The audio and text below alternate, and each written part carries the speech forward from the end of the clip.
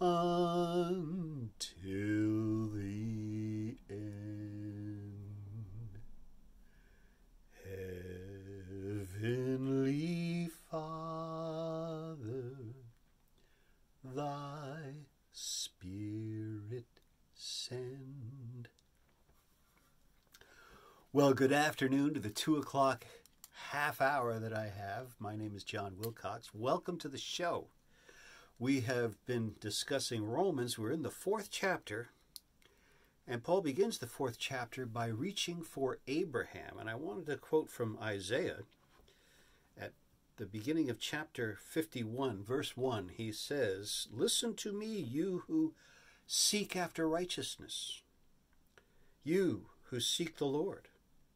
Look to the rock from which you were hewn, and to the hole of the pit from which you were dug.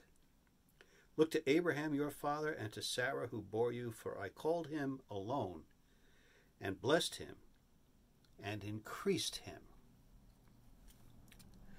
Now, over to Romans, we will be in just a minute. And I was sidetracked a little bit. I talked about how, you know, the Christian lifestyle is a lifestyle, it is not a religion.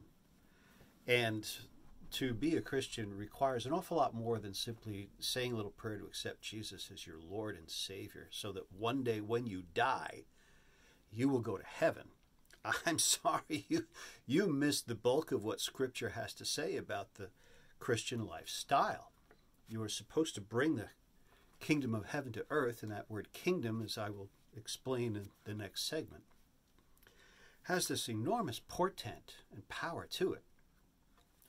And that's what Jesus did when he was here on earth. He was known far more for his what he said than for all those miracles. The miracles followed, but if you pay attention to the gospel accounts, he spoke the words and the miracles occurred because he had the power of being the son, both the son of God and the king of the Jews. And as a king when he spoke it became the law. So let's look at Romans.